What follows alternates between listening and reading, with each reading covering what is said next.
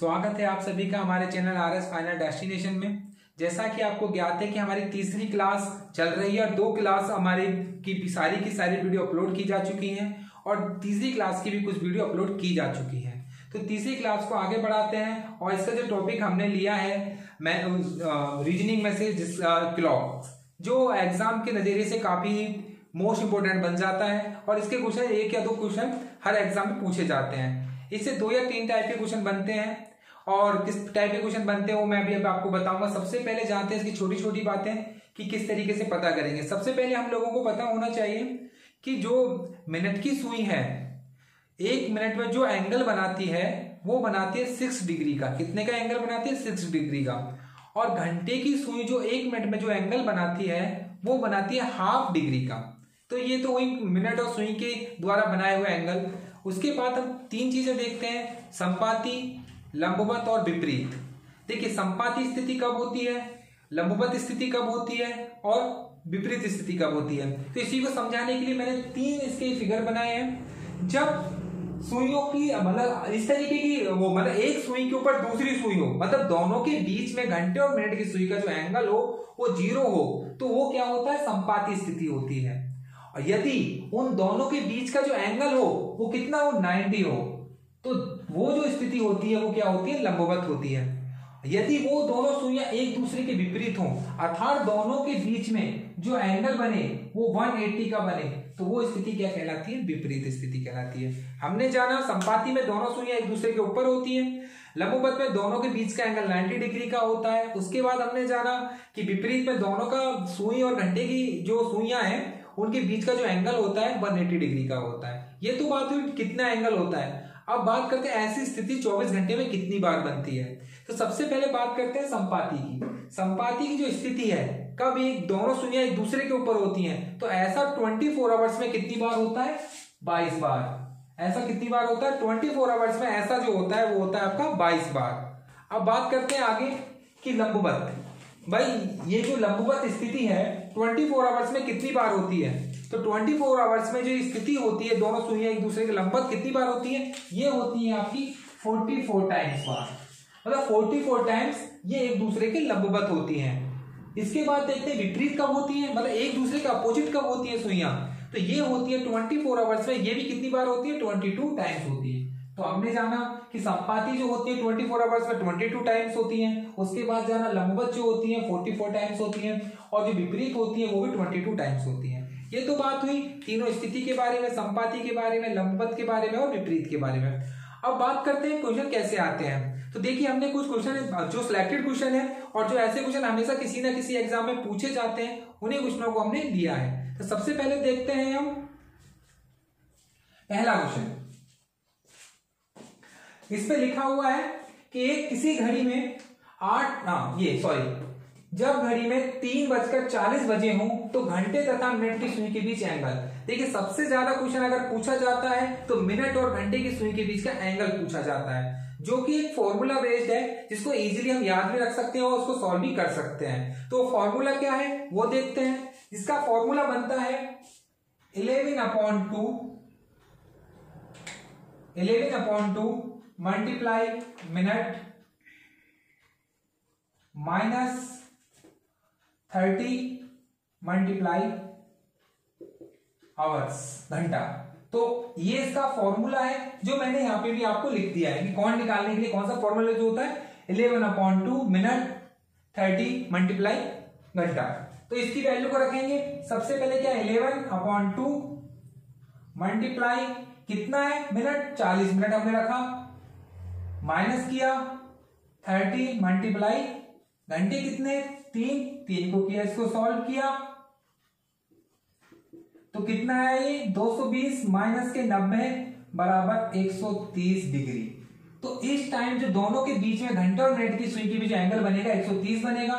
इसमें कोई भी टाइम दिया हो, इस फॉर्मूले में पुट करेंगे और इजीली उसको हम सॉल्व कर देंगे। ये तो बात हुई एंगल निकालने की। अब बात करते हैं कि कब संपाति होंगी, आपको टाइम दिया होगा, कब वो लंबवत होंगी और कब विपरीत होंगी।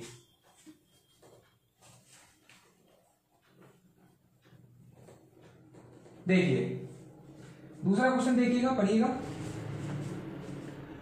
किसी घड़ी में आठ बजे से नौ बजे के बीच कितने बजे घंटे और मिनट की सुई संपाति? मैंने एक ही क्वेश्चन को लिया है और उसमें तीनों स्थितियों को सॉल्व किया है। कब वो एक दूसरे की सुई संपाति होंगी? विपरीत होंगी और लंबवत होंगी। मैंने अलग अलग टाइम भी रखा है। एक बार आठ और नौ बजे के बीच में देखा है। और एक बार चार और पाँच के बीच में देखा है। तो सबसे पहले देखते हैं आठ और नौ के बीच में संपाति, कि संपाति कैसे निकालते हैं। तो संपाति निकालने के लिए आपको कुछ नहीं करना है। संपाति के लिए क्या करना है?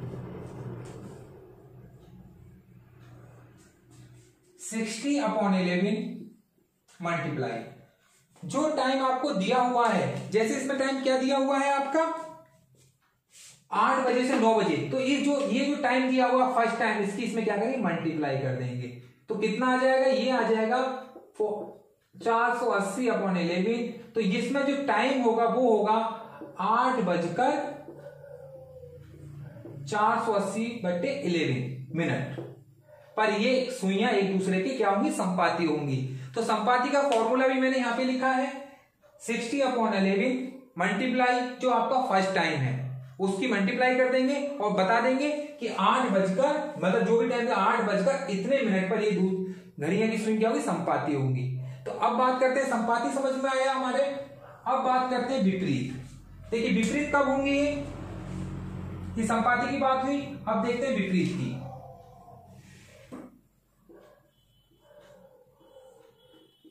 विपरीत के लिए भी मैंने दिया है कि लिखो, वही लिखिए सिक्सटी अपॉन इलेवन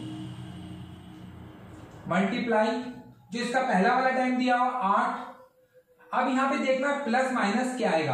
देखिए फॉर्मूले मैंने लिखा है, जब विपरीत हो, प्रथम टाइम प्लस माइनस सिक्स तो प्लस माइनस सिक्स कब होता है? यदि दिया हुआ टाइम छह से ज़्यादा है तो हम वहाँ पे क्या लेते हैं? माइनस लेते हैं। जब दिया हुआ टाइम छह से ज़्यादा है तो वहाँ पे माइनस लेते हैं। जब दिया हुआ टाइम छह से कम है तो वहाँ पे प्लस लेते हैं। समझ में आया आप लोगों के? जब दिया हुआ टाइम छह से ज़्यादा होगा, जैसे यहाँ टाइम क्या दिया हुआ है? आठ बजे से नौ बजे। तो ये टाइम छह से ज़्यादा है ना आठ? तो यहाँ हम क्या लेंगे? माइनस और अगर यही टाइम होता, जैसे मैंने इसमें सेकंड क्वेश्चन जोड़ा है, यही होता चार और पाँच।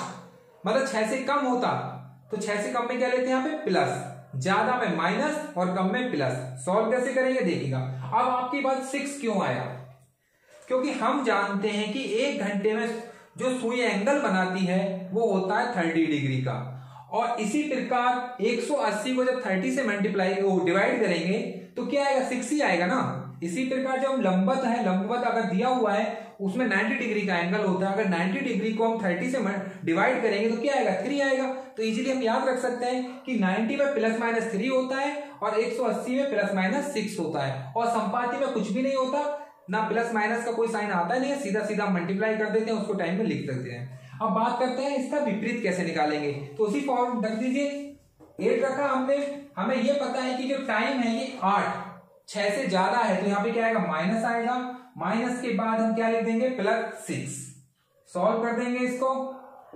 Sixty upon eleven multiply two तो ये कितना आ गया? एक सौ बीस अपॉन इलेवन तो इसका आंसर हो जाएगा आठ बजकर एक सौ बीस बटे ग्यारह मिनट पर ये सुइयाँ एक दूसरे के क्या होंगी? विपरीत होंगी। समझ में आया? आठ बजकर एक सौ बीस बटे ग्यारह। इसको भिन्न के रूप में लिख सकते हैं, आप सॉल्व कर सकते हैं। ग्यारह से भाग देंगे तो समथिंग भिन्न के रूप में आ जाएगा। ऐसे भी लिख सकते हैं या इसको भिन्न बना के लिख सकते हैं। तो आंसर ऐसे भी दिया हो सकता है एग्ज़ाम में या भिन्न के रूप में भी दिया हो सकता है। आठ बजकर इस तरीके से। ये तो बात हुई हमारी विपरीत बताने की और पहले हमें संपाति अब बात करते हैं लंबुबत कि ये जो आठ और नौ बजे के बीच ये सुइया कब लंबुवत होंगी? पहले हमने जाना संपाति कब होंगी हमने सीधा सीधा निकाला सिक्सटी अपॉन इलेवन गुना जो पहला वाला टाइम दिया है, निकल गया। उसके बाद हमने निकाला विपरीत कब होंगे विपरीत के लिए भी हमने ये किया सिक्सटी अपॉन इलेवन मल्टीप्लाई जो हमें फ़र्स्ट टाइम दिया हुआ है, और साइन मैंने बताया प्लस माइनस सिक्स जो आएगा, अगर ज़्यादा है सिक्स से तो माइनस कम है तो प्लस अब देखते हैं हम आप लंबुपत कब होंगे अब लंबुपत के लिए देखिएगा। वो ही लिखना है। Sixty upon eleven. शायद इसमें समझ में नहीं है क्योंकि रंग ब्लैक ही करते हैं। सिक्सटी अपॉन इलेवन, ये लंबुपत के लिए है। मल्टीप्लाई, वही टाइम फ़र्स्ट टाइम लेते हैं जो दिया हुआ है। मैंने बताया था प्लस माइनस थ्री तो प्लस कब लेंगे? जब छह से कम होगा। माइनस कब लेंगे? छह से ज़्यादा होगा। तो हमें पता है कि जो आठ है, वो छह से ज़्यादा है। तो हमने क्या लिया माइनस का कितना आया? थ्री क्योंकि लंबवत में हम क्या लेते हैं? प्लस माइनस का थ्री लेते हैं। और जब विपरीत होता है तो प्लस माइनस का सिक्स लेते हैं। याद रखना ये। इजी है। जब आप दो एक दो बार सॉल्व करेंगे तो माइंड में एकदम से याद रह जाएगा कि हम ऐसा करते हैं। इसको सॉल्व किया।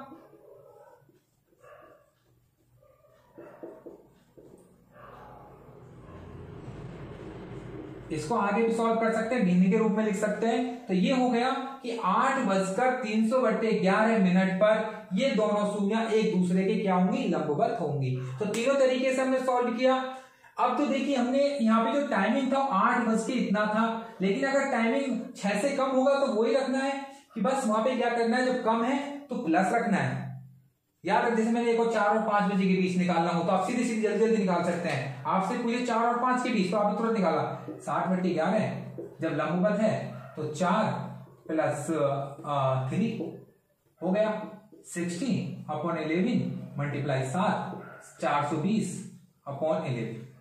कितनी जल्दी हो गया? अगर इसी में पूछता हमसे कि ये विपरीत कब होगा तो कुछ भी नहीं।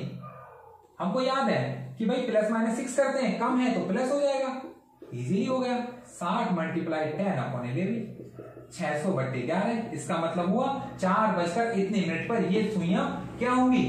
विपरीत होंगी। अगर हमें संपाति निकाला तो और भी निकाल सकते हैं, तुरंत निकालिएगा। देखिए ट्रिक कितनी जल्दी याद हो गया। सिक्सटी अपॉन इलेवन मल्टीप्लाई कितना?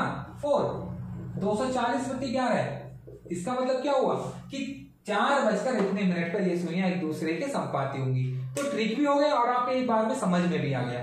तो ये तीन, चार चीज़ जानी हमने। एंगल निकालना, कब संपाति होती है वो निकालना, उसके बाद जाना हमने कौन निकालना, संपाति के बाद निकालना लंबवत, उसके बाद निकाला विपरीत। इसके बाद दो, एक और दो क्वेश्चन बचते हैं, जो कि इस बार यूपीएससी में भी क्वेश्चन पूछा गया आप लोगों से। उसी तरीके के क्वेश्चन हमने भी लिया है और उस क्वेश्चन को भी समझाया यूपीएससी में पूछा गया है। तो देखिए।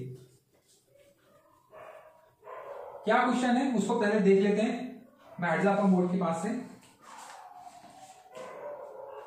समझिए पहले। एक घड़ी में प्रत्येक तीन घंटे में बारह सेकंड एक घड़ी तीन घंटे में क्या करती है वो? बारह सेकंड आगे बढ़ जाती है। चलो यदि उसे रविवार को एक बजे सही किया गया, दिन के एक बजे उसको, उसका टाइम को ठीक कर दिया गया है तो मंगलवार को रात दस बजे उसमें क्या समय होगा? तो उसने मंगलवार को पूछा कि दस बजे उसमें क्या समय होगा? तो सबसे पहले हम ये देखते हैं ऐसे सवालों में कि एक घंटे में वो कितने सेकंड आगे बढ़ती है। तो हमने देखा कि जो सुई जब तीन घंटे में बारह सेकंड बढ़ रही है तो एक घंटे में कितना बढ़ रही है? तो माइंड में हमें पता चार सेकंड बढ़ रही है। चलो ठीक है। उसके बाद हम देखेंगे जो टाइम हमने सेट किया है, और जिस टाइम को हमने उस घड़ी में लास्ट में देखा है, उन दोनों का अंतर कितना है। जैसे इस घड़ी में टाइम सेट किया गया था, वो रविवार को एक बजे किया गया था, और लेकिन जब घड़ी में टाइम देखा गया, वो मंगलवार को दस बजे देखा गया। तो रविवार के एक बजे से मंगलवार के दस बजे तक का जो टाइम होता है, वो होता है पैंतालीस घंटे। कितना होता है? फोर्टी फाइव आवर्स तो ये चार जो आया, इसमें पैंतालीस की मल्टीप्लाई कर दीजिए। ये एक सौ अस्सी आ गया। तो कितना हो गया? इसको हम जब मिनट में रखेंगे तो कितना हो जाएगा? तीन मिनट इसका मतलब ये हुआ, उस दिन जो घड़ी में जो बजा होगा टाइम वो होगा दस बजकर तीन मिनट दोबारा समझ लीजिए। सबसे पहले हम ये पता करते हैं कि एक घंटे में कितने मिनट या कितने सेकंड आगे बढ़ती है। उसके बाद हम देखते हैं जो हमें टाइम सेट किया है और जो अंतिम टाइमिंग हमने देखा है, उन दोनों का डिफरेंस कितना है। डिफरेंस की जो एक मिनट में टाइम एक घंटे, उसकी मल्टीप्लाई कर देते हैं। उसको मिनट में या उसमें चेंज करके मिनट में बता देते हैं कि इतने बजे ये घड़ी, ये टाइम इस घड़ी में है। समझ में आया? अब देखिए, एक ऐसा ही सवाल इस बार यूपीएससी में आया है। सवाल क्या था? कोई दीवार घड़ी प्रत्येक 24 घंटे में 10 मिनट तेज चलती है। मतलब 24 घंटे में 10 मिनट वो बढ़ जाती है। इस घड़ी को सोमवार को 8 बजे सही किया गया। उसके बाद जब यह घड़ी बुधवार को देखी गई तो 6 बजे का समय दिखाती है। तो इसको सोमवार को शाम को 8 बजे ठीक किया गया था। और ये जो घड़ी देखी गई सुबह आठ बजे ठीक देखा गया था और उसको जो घड़ी का जो टाइम देखा गया, वो सुबह शाम को छह बजे देखा गया।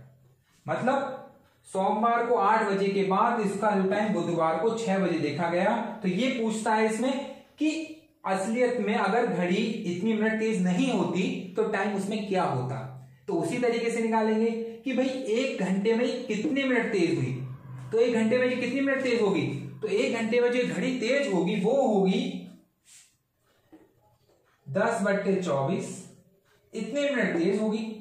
लिख लिया आपने। उसके बाद हमने देखा कि हाँ सोमवार को आठ बजे से और जो अपराध छह बजे तक का कितना समय, कितने घंटे होते हैं? तो ये टोटल जो घंटे होते हैं, वो कितने होते हैं? फिफ्टी एट कितने होते हैं? फिफ्टी एट उस घंटे की हमने मल्टीप्लाई कर ली।